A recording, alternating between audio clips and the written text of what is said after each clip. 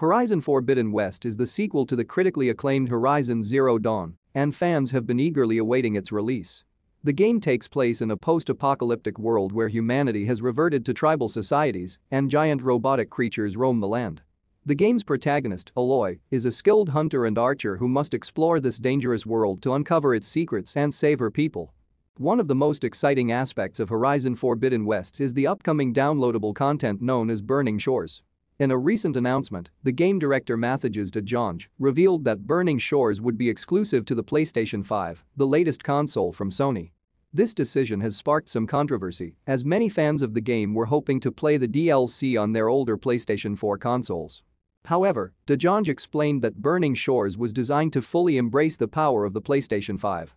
According to the game director, the PS5's advanced hardware allows the team at Guerrilla Games to create a more immersive and detailed world than was possible on the older console. The cityscape ruins of LA and its surroundings are highly detailed and require a lot of processing power as well as fast streaming technology to run properly. This is especially true when the player is flying over the lands and can see a lot at once. In addition to the improved visuals, de Jonge also hinted at an upcoming battle in Burning Shores that would not have been possible on the PS4 due to the amount of memory and processing power required. The game director stated that to achieve this grand vision both technically and creatively, the team was thankful for the many advantages that the PS5 hardware brings. Despite the disappointment of some fans who will not be able to play Burning Shores on their PS4 consoles, it is clear that the PlayStation 5 is capable of providing a more immersive and detailed gaming experience. The console's advanced hardware allows game developers to create more intricate and realistic worlds with faster load times and smoother gameplay.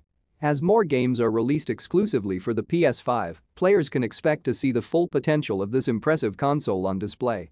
Horizon Forbidden West Burning Shores is set to release next month, on 19 April, and fans of the game are eagerly anticipating the release of this exclusive DLC.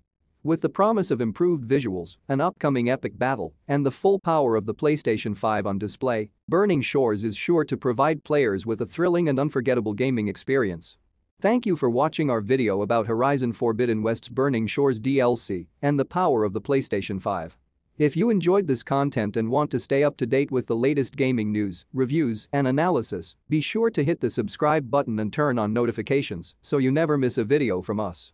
And if you're excited for the release of Burning Shores next month, let us know in the comments below.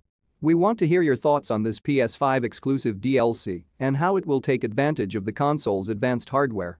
Don't forget to like and share this video with your fellow gamers and check out our other content for more in-depth discussions about the biggest games and trends in the industry. Thanks again for watching and we'll see you in the next video.